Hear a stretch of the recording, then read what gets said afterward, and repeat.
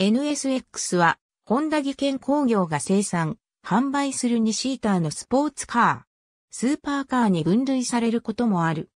1990年から2006年まで発売されていた NSX の2代目であり、ハイブリッドシステムを搭載している。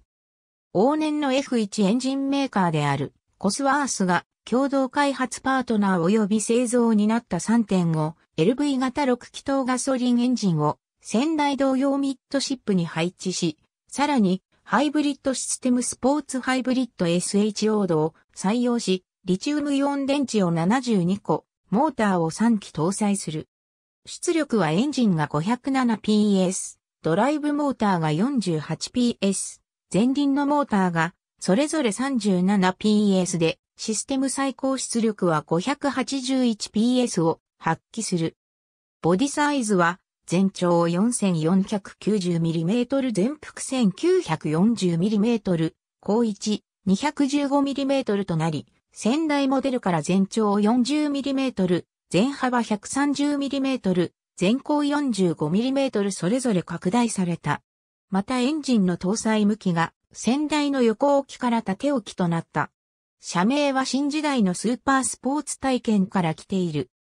日本での発売は2017年2月27日からで、モノグレードのみの展開、価格は2370万円と日本で発売する、ホンダ社の中では最高値となると同時に、2016年8月時点における日本で販売される日本メーカー製車両の最高額となる。性能、価格とともに、ポルシェ911ターボやアウディ R8 などのスポーツカーと肩を並べることとなった。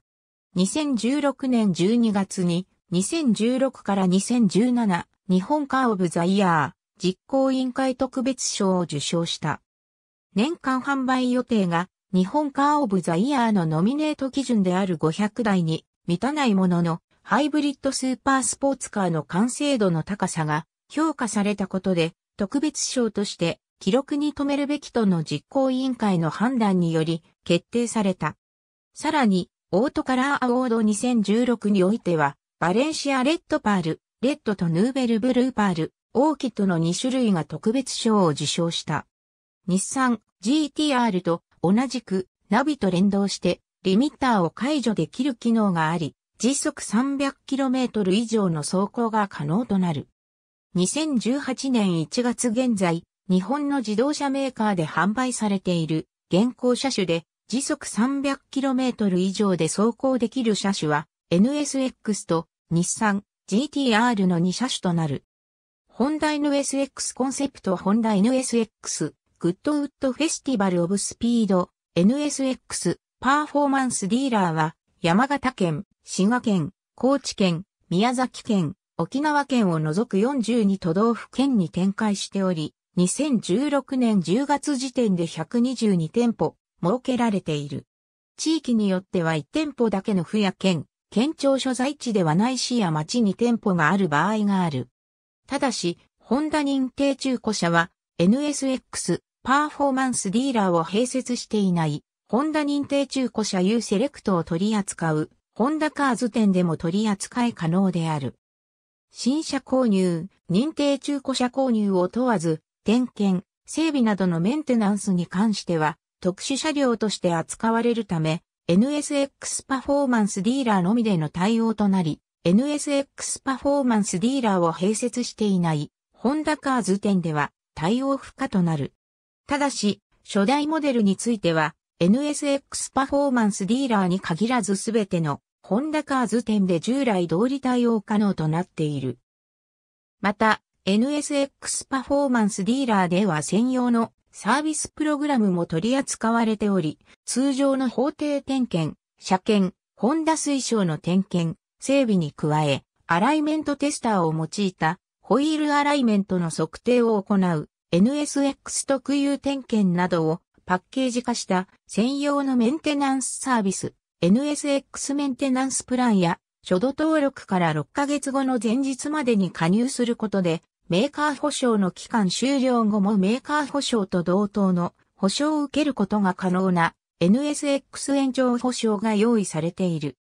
ホンダ認定中古車 U セレクトの場合の保証並びに、点検パッケージは NSX 延長保証は初度登録から3年以上、または走行距離が6万 km 以上の場合の車両に関しては全所有者から継承可能であるが、NSX メンテナンスプランは全所有者から継承されない。そのため、点検パッケージは、ホンダ他車種と同様に、ホンダの定期点検パックである、任せちゃおが適用される。保証に関しても、NSX 延長保証の他にも、ホンダ認定中古車無料保証、購入時に加入して、保証期間が5年間に延長可能な、ホット保証が適用される。初代、NSX が参戦していたスーパー GT GT500 クラスは2009年にレギュレーション変更が行われ、2010年からホンダ HSV-010 で参戦していたが、2014年から車両規則の一部をドイツツーリングカー選手権と統一されることに合わせ、すでに発表されていた NSX コンセプトをベースにした NSX コンセプト GT に変更した。2017年からは同年2月に日本での販売が始まるのに合わせて NSX コンセプトベースから NSX ベースの NSXGT に変更された。DTM の車両規則は FR に限定されているが、ホンダは最低車両重量を上積みすることを条件に特認を受け、ベース車と同様にミッドシップ在テック製ハイブリッドシステムが搭載された。しかし2016年シーズン以降は、バッテリー製造メーカーからの供給を受けることが困難になったという理由から、ハイブリッドシステムを搭載せずに戦っている。2014年デビューシーズン序盤は、マシントラブル等に悩まされ、第2戦富士では、前者がリタイアするなど成績を残せなかったが、第4戦素顔では、チーム、国光のレーブリグ NSX が予選2位をリアルレーシングが3位でゴールし、新 NSX 初の表彰台を獲得した。第5戦富士で、ドームレーシングが優勝した上に中島レーシングのエプソン NSX が3位になった。2015年は、レーブリグ NSX が唯一気を吐き、レクサス勢を上回る年間3位を獲得した。2016年は前述の通り突如ハイブリッドを下ろした影響から戦闘力を発揮できず、3メーカー中唯一未勝利という苦渋の1年を送った。2017年は開幕戦で PEP を獲得するが、オープニングラップで、伝送系トラブルで3台の NSX がストップ、最終的に1台のみ完走するという珍事に見舞われた。第2戦も回に沈んだため、この状況を重く見た GTA は、ミッドシップ班で 29kg を 14kg に軽減。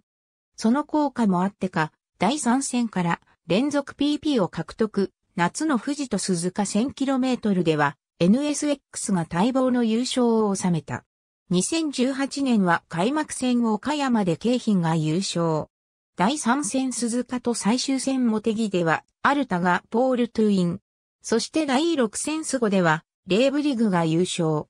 計4勝を飾り、ホンダとしては2010年以来のシリーズチャンピオンを、レーブリグ NSX-GT が獲得した。また2017年からは、FIA GT3 仕様、NSX の販売がスタートし、初年度は、イムッサウェザーテック、スポーツカーチャンピオンシップの GT デートナクラスに2台が参戦。第5戦、第6戦と2勝を挙げた。2018年からは、スーパー GT GT300 クラスにも登場し、モーデューロドラゴコースが2019年からはチームアップガージとアルタが同マシンで現在参戦している。また、2018年にはカーガイレーシングも参戦していたが、2019年のスーパー GT には参戦していない。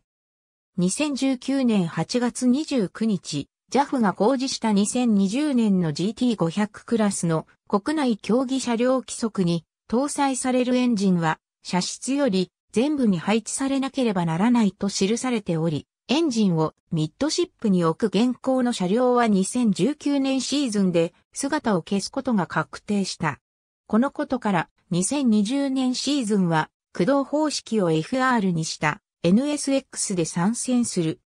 この年は結局、開幕戦岡山でのアルタの一勝に止まり、ポイントランキングでも京浜 NSXGT の6位が最高位と6勝を挙げて、ポイントランキング1.24.5位を獲得したレクサス勢に大きく水を開けられた。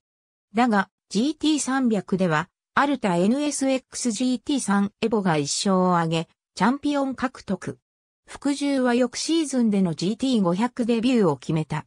2020年は NSXGT が前述の通り FR 化された初年度であった。